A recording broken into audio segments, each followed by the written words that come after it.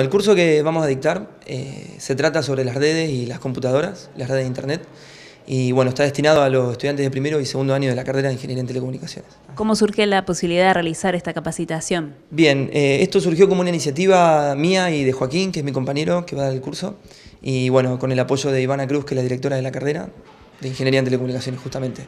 Y bueno, eh, el fin o el propósito es que los chicos se puedan ir embebiendo con el material que tenemos en el laboratorio y que puedan ir conociendo las instalaciones disponibles. Así que bueno, y que, puedan conocer qué, es lo que van a hacer en, los próximos años de la carrera, cuando avance.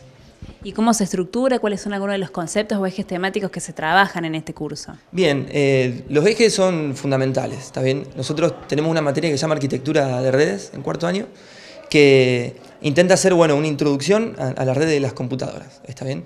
Eh, nosotros como, ingenieros en telecomunicaciones tenemos que saber eh, cómo, es el flujo y las comunicaciones de la Internet, porque obviamente es parte de nuestra vida diaria de, todas las personas.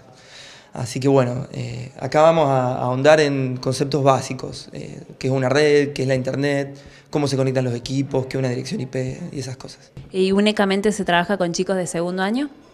En realidad la invitación era para chicos de primero, segundo y tercero. Lo que pasa es que por el cupo máximo que eran 20 chicos, bueno, se llenó con chicos de segundo año y algunos de primero. Así que bueno, eh, obviamente si, si esto tiene un éxito vamos a tratar de repetirlo para los chicos que quedaron afuera, por supuesto.